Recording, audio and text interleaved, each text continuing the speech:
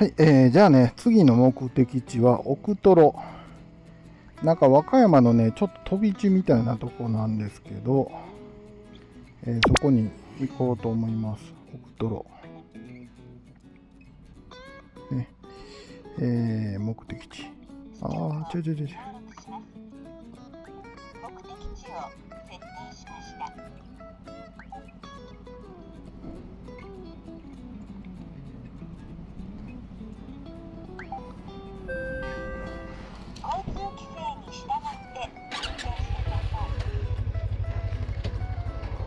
はい、じゃあ行こうと思います。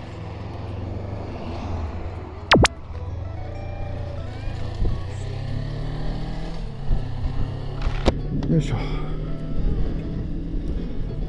今日もね、結構回るつもりで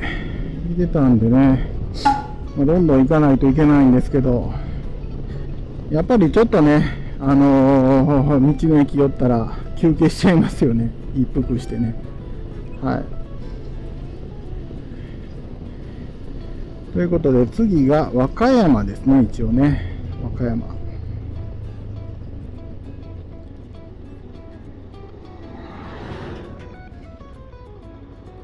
よいしょ。であのー、なんていうかなこうつけたオプションの中であのいいなと思ってるのがこの風防ね。風防結構やっぱ風よけになってますよね。良さそうな感じ。で、昨日の晩に急遽つけたんですけど、このハンドルのこのスタビライザー、えー、これもね、なかなかいいですね。あの、やっぱりね、ハンドルが結構ビビリが、まあ、高速乗ったらね、結構ハンドルのビビリが気になるとかいうブログとかの、あれも見てたんですけど、まあ、ちょっとね、速度が上がってくると、やっぱりちょっとなんか振動が出てるなっていう感じはしてたんですけど、やっぱりこれをね、つけたらね、全然、あのー、なんていうかな、一般道走ってても、全然ビビりがなくなりましたね。これ良かったな、買って。これも中国からのやつで買いました。はい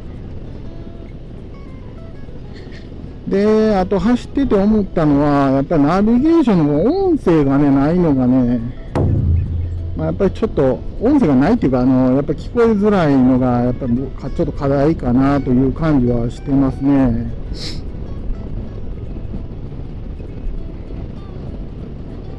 ちょっとそこはね、まあ、どうしてもバイク用じゃないですしね、ちょっとまあ、なかなかしんどい。ってか、まあ、無理やりつけてるんでね。意外とこのステーにね、つけてて振動どうかなと思ったんですけど、振動はね、そんなに気にならない音ですね。はい。で、まあ山道入っちゃうとほとんど分岐もないんでね、もう一本道なんで、まあそんなに気にはならないんですけど。あの Google マップがオフライン地図に対応してるので、あれ、去年くらいかな、去年くらいから対応するようになったんでね、まあ、Google マップとか、あと僕ナ、ナビではね、ナビゲーションは Yahoo ナビ結構使ってるんですけど、Yahoo ナビはオフラインマップ対応してないんですよね。なんかだから目的地を、その、例えば山の中で電波届かないところに設定するのは問題ないんですけど、次、電波がないところで、こう、あの、目的地を設定しようと思うと、あの、ダメなんですよね。多分その時に読み込んでくるんですよね、地図をね。だから、山の中で目的地を設定するっていうのができないんですよね、ヤフーマップね。からまあ、本当は Yahoo ナビが、あのー、オフラインマップ対応してくれたら、もう最強だと思ってるんですけど、個人的には。まあでも Google マップが対応してるから、もうもしかしたらね、えー、もうスマホだけで行っちゃうっていうのもいいと思うんですね。でただ、あのスマホを本当にここへ直にマウントして、あんまりこう、走ってると結構振動でね、あのカメラのセンサーおかしくなるっていうのはね、あるみたいなんですよ、故障で。今なんかこうバイクとかにマウントするのでも、あの防振のゴムをかましてね、えー、振動をちょっと軽減するっていう製品も、あれも去年出たのかな？えー、そういうのが出てて、でそれつけてると、まあ、一応トラブル、そのカメラのセンサーとかのあの故障っていうのを防げる、まあ、ある程度テストしても実績としてね、塞げてるっていうのがあるみたいなんですけど、うーん、まあ、僕の場合はあのピークデザインのね、あのスマホのマウントとか、まあ、あのスマホケースとか、あれを去年、あのキックスターターでバックしてるので、で、ピークデザインのやつも、なんかこう、あのー、最初の時には、その振動のやつまでは対応してなかったんですけど、なんか対応するだなんだ言うて、えー、途中経過のやつで、えー、書いてたので、まあ、実際最終的に、え来た時にどうなるかちょっとわからないんですけど、あ、どけてくれた。あのちょっとわからないんですけど、あのまあ、ピークデザインのやつが来るまで、ちょっとなんとか昔つけてたね、このスマホマウントで我慢しようかなと思ってね、今やってます。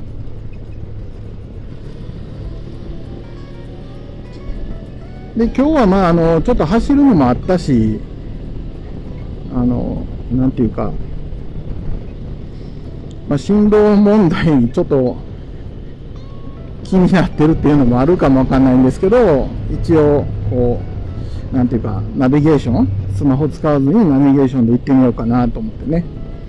あとは、あの、当然電波が入りにくいようなところもあると思うんで、この山の中ね。今通ってる道のところはね、結構主主要な道路っていうこともあって、一応ね、あの、途中途中細いところとかもありますけど、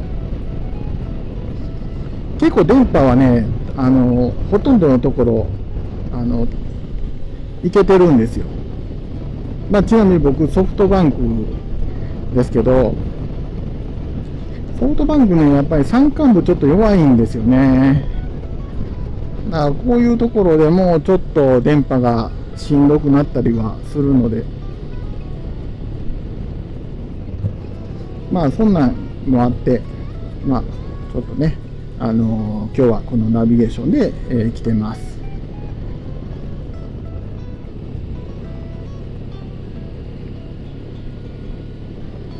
で今から行く奥トロっていうところは前あの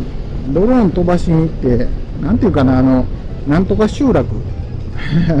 もう忘れちゃってるけど、あの、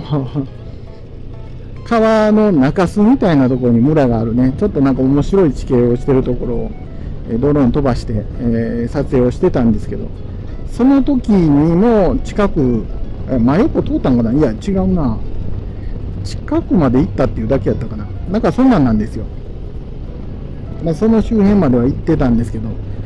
その時もあのなんていうか、スタンプラリー帳を持ってきてなかったんで、で、あの、結構タイトな、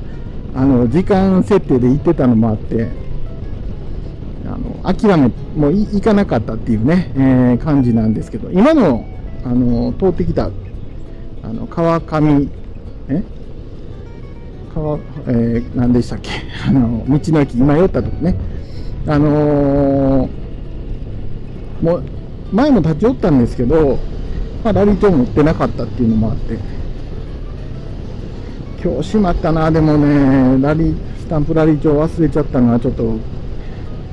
しまったっていう感じですよね。今日はもうドローン持ってきてません。あの基本的にドローン飛ばす目的では来てないですしね。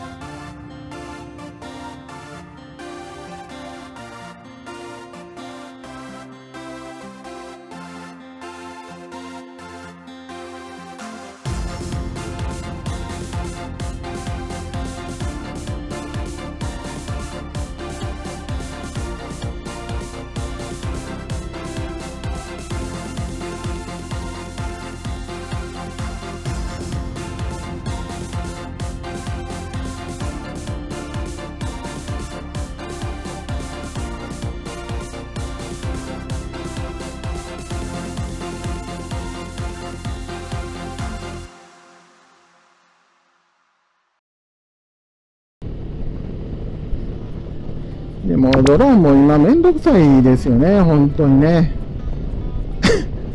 あの、やっぱりあの飛ばすんでも目視外飛行にならないように飛ばすとかね、えー、いうことであれば、こんなところ全然人口密集地でもないんで、えー、まあ、問題なく飛ばせそうだったらいいんですけど、目視外飛行になるとかだったら結局、まあもちろん当然事前に許可申請も取っとかないとダメだし、あの、あれね、あの、飛行場所の飛行ルートとかのあの、事前登録みたいなのもしないとダメだし、なんかめんどくさいですよね。で、あの、飛行の、まあ、あの、僕はあの、許可申請の方は、全国どこでも飛ばせる包括申請してるんで、飛ばしたら後で、あの、そこの場所とか日時、えー、を報告すればいいんですけど、その、飛ばすときにあの、なんていうか、他の飛行するドローンとかと、あの、バッティングしないように登録するやつね。あれがね、山ん中とかだったらスマホ、あの、電波届かなくて、現地でいきなりここで飛ばそうと思っても登録できなかったりね。するんでね、あれ困りますよね、本当にね。本当になんかもう飛ばすところも、えー、計画的に考えてから行かないとダメだっていうね、なんかすごく、うーん、まあ、僕が最初ドローンを始めた時は、航空法のそのドローンの規制自体がなかったんでね、もう本当に、その頃から考えるとなんかもうね、嫌になってきますよね。あとあの DJI からも新しいね、あの FPV のあのドローン出ましたけど、あれは一応レースモデルになるのかな？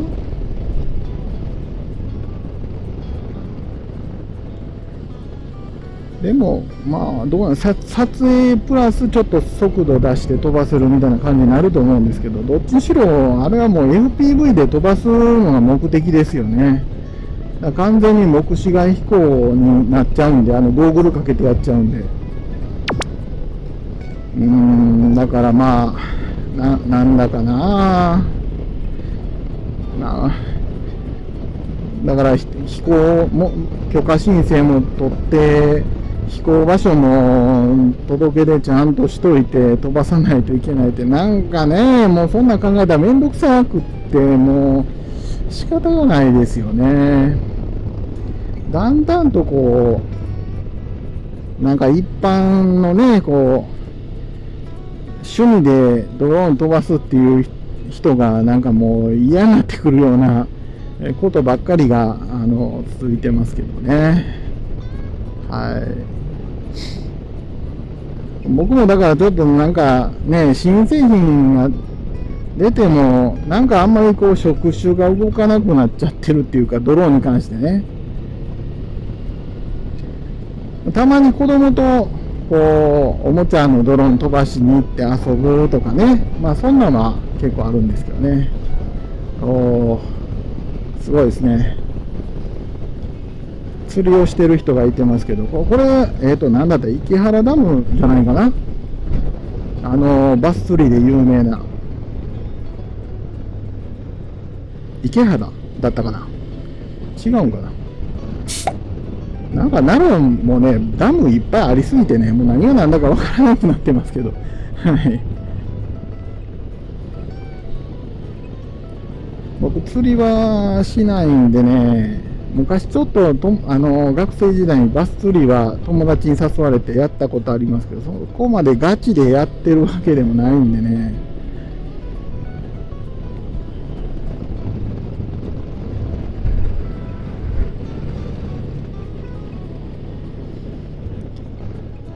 バイクもそうですけど、何でも、まあ、バイクもメンテナンスとかね、なんかあの、ちょこちょこいじるのは自分で触るっていうのが好きなんで、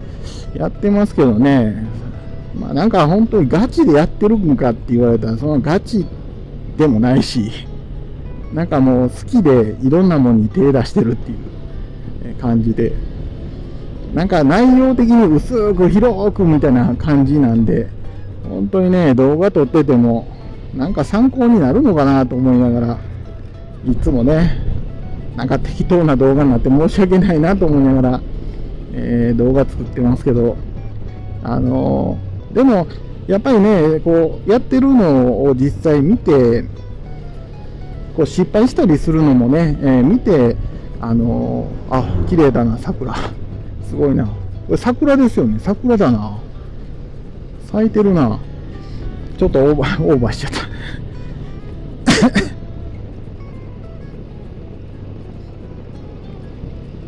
桜十分咲いてますね。ああ。いつもあのドローン練習しに行ってるところの桜の木がね、すごいいっぱいあるとこなんですよ。最近ね、結構みんな知ってる人が多くなってきて、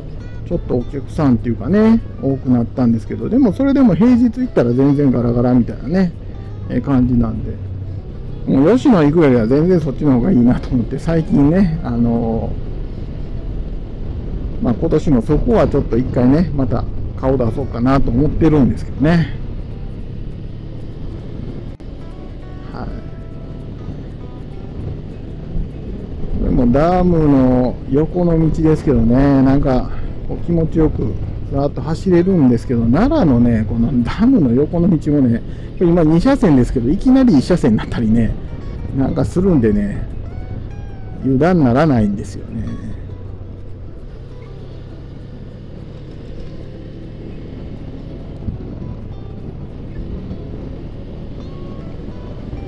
よいしょ。はい、ということで、えーとまあ、またぼちぼち行こうと思います。まだ奥トローまではね、ちょっと距離がありますよ。10時17分到着予定になってて、今9時42分なんで、まあ、まだもうちょっとあるんで、えー、適当に走っていこうと思います。ではでは。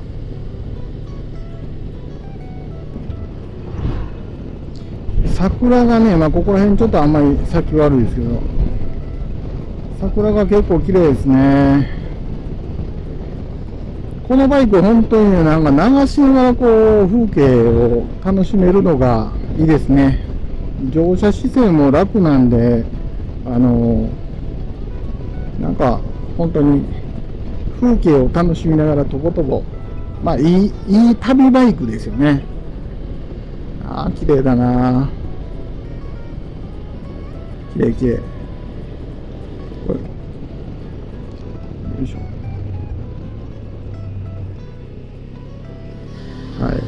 えー、まだねもう少し、えー、あるんですけどね。あのー、目的地まで奥とろか。前あの、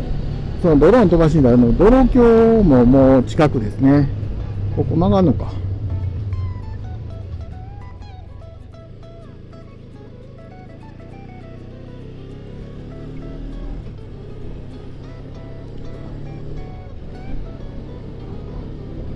んなとこでもね花桜ちゃんと咲いたら花見とかいいでしょうね。今年はでもねまあこんな山の中来て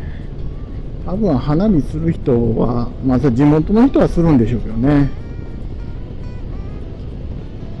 まああのなんていうかキャンプがてら来てもいいかもわかんないですね。今でもあれかなみんなこうコロナコロナでキャンプくらいしかすることないから結構来るのかな山の中来て。僕はもともとキャンプまあ興味はあったのもあるんですけどドローン飛ばしに行く時にこう山の中とかまあ海もそうですけどあのー、ていうか泊まるのがね、まあ、宿泊費とかもやっぱり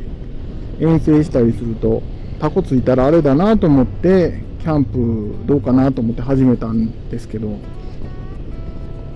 まあ逆にキャンプ始めるとキャンプ料金結構高いんでね、まあ、そんなにいろいろ揃えるんだったらなんかこう そこら辺の民宿トマトが楽やし、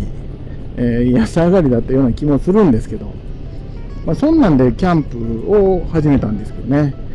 あのそうしたらなんか思いのほかそっからね、キャンプブームとか言って、なかなか予約取れなかったりとか、行っても結構ね、人多かったりとかで、なんかのんびりできるような感じじゃなくなっちゃってきてるんでね。なんか、始めた時期が悪かったですね。まあコロナでさらにそれが加速されたっていうのもあるんでしょうけど、言っててもやっぱりマナーが悪い人がね、特にまあこれもう一概にね、そうだっていう決めつけじゃないですけど、やっぱり若い人がね、結構ね、あの夜遅くまで騒ぐんでね、まあ、若い人だけじゃないと思いますけど、会社とかでこう団体で来たりすると、それは盛り上がってね、夜まで騒ぎたくなるのも分かりますけど、そんな人もいてるでしょうけど、これこっちかな。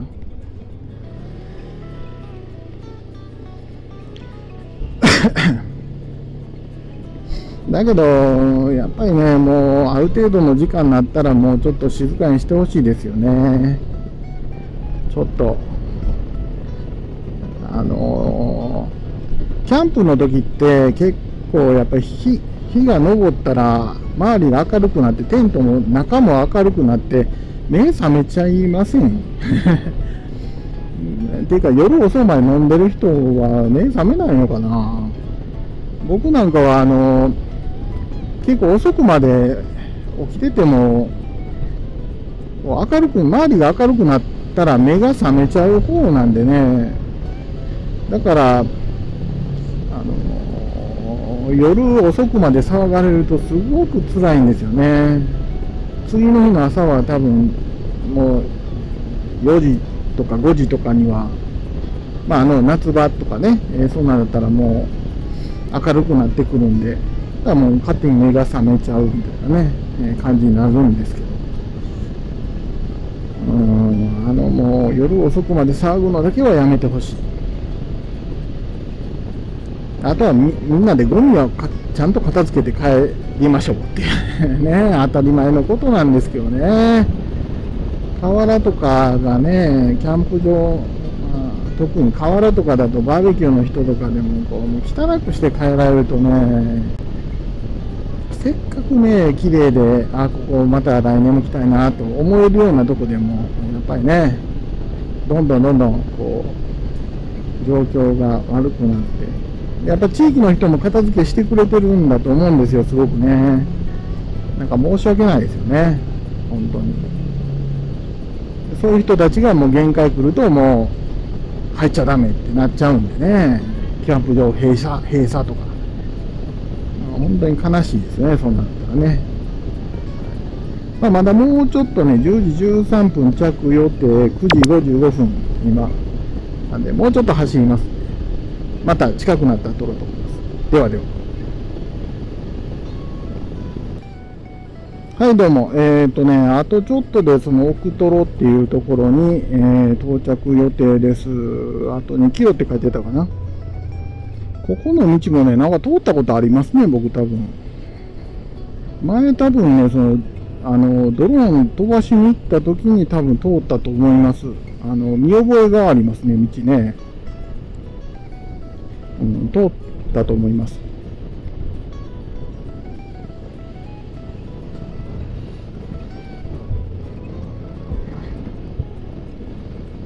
ちょっとなんか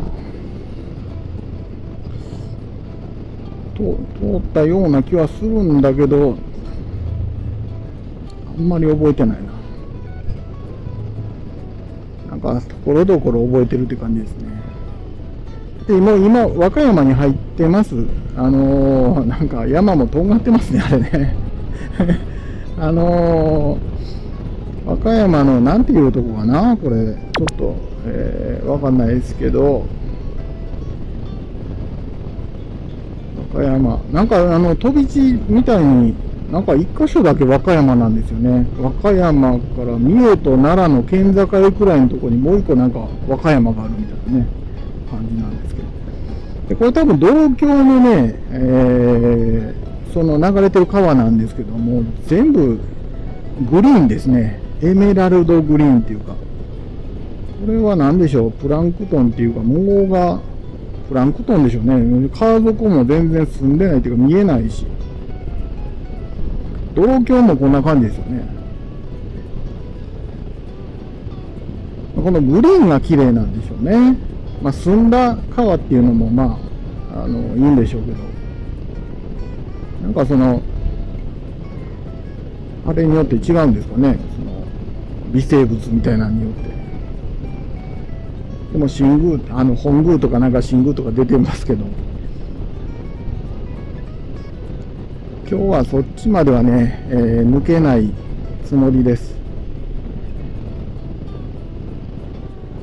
綺麗ですね。これもなんかな、キャンプとかもできんのかな。普通の運動場的なやつかな。地域の人の。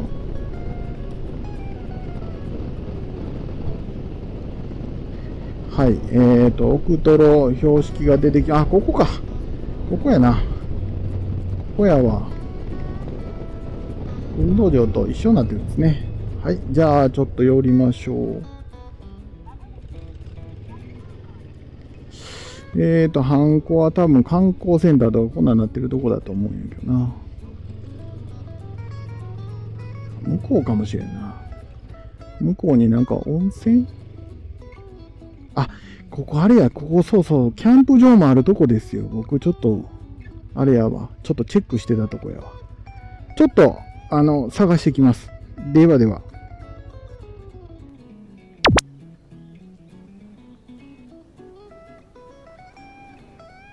えっ、と、ここの観光案内所の方にね、えー、あるみたいですね。スタンプって書いてますからね。ここ行ってみましょう。あ、そこにあるわ。あ、こんにちは。よいしょ。じゃあ、これで押していきましょう。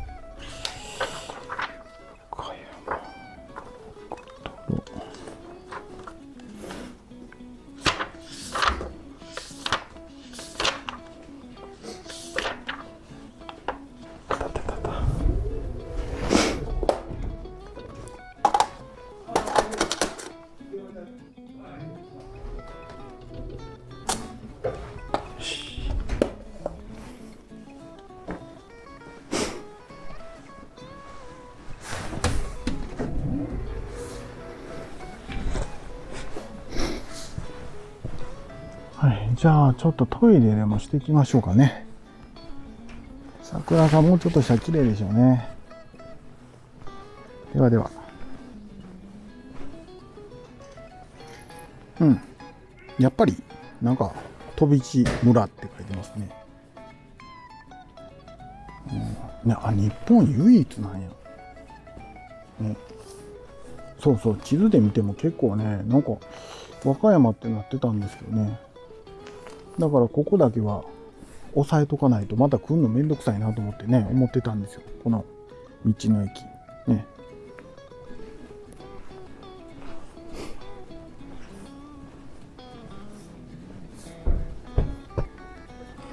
奥トロ。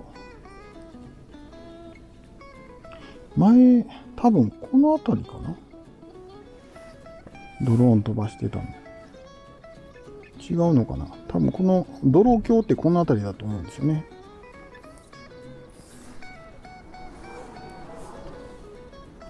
オートキャンプ場もあるし、なんかいろいろありますね。で、温泉もあるし。うん、またキャンプ来たいですね。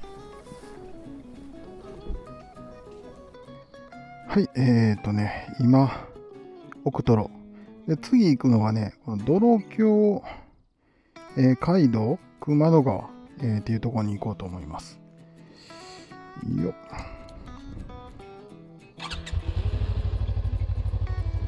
はい。じゃあ、ナビをセットしますね。えー、っと、これか。